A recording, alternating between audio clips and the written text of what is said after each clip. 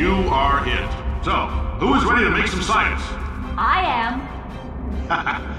now, you already met one another on the limo ride over, so let me introduce myself.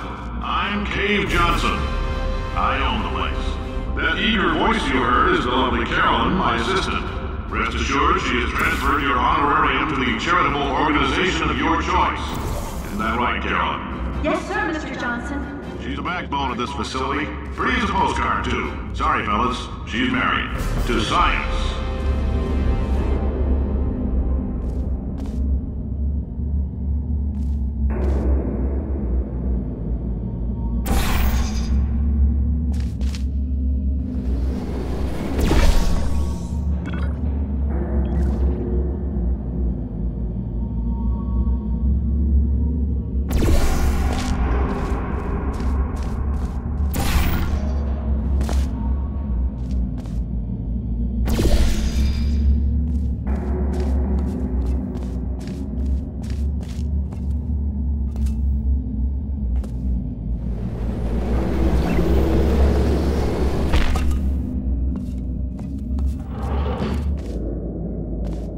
There's a thousand tests performed every day here in our enrichment spheres. I can't personally oversee every one of them, so these pre-recorded messages will cover any questions you might have and respond to any incidents that may occur in the course of your science adventure.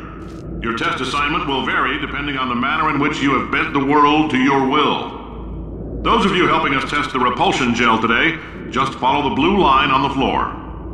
Those of you who volunteered to be injected with praying mantis DNA, I've got some good news and some bad news. Bad news is we're postponing those tests indefinitely. Good news is we've got a much better test for you. Fighting an army of mantis men. Pick up a rifle and follow the yellow line. You'll know when the test starts.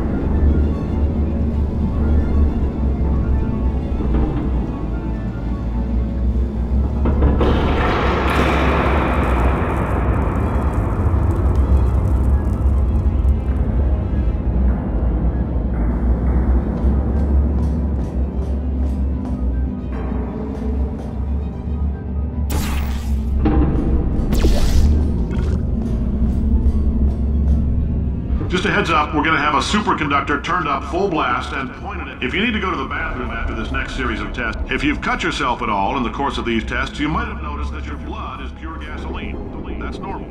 We've been shooting you with an invisible laser that's supposed to turn blood into gasoline, so all that means is it's working.